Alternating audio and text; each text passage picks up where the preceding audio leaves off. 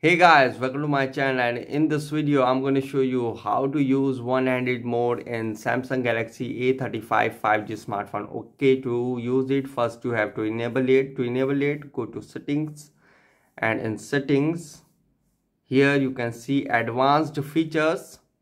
Tap on it and here you can see one-handed mode. Tap on one-handed mode and simply tap here to enable it. Now you have two feature available gesture and button.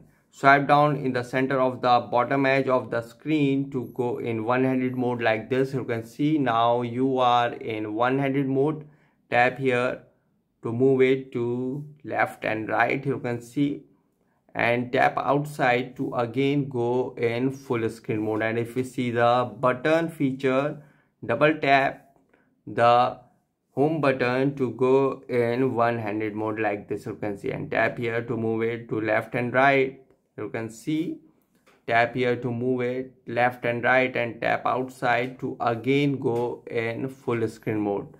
So guys this is the method to use one-handed mode in a samsung galaxy a35 5g smartphone. Guys thanks for watching. If you have any inquiry related to video let me know in comment section below Please like, share, subscribe and click on bell icon for the latest updates.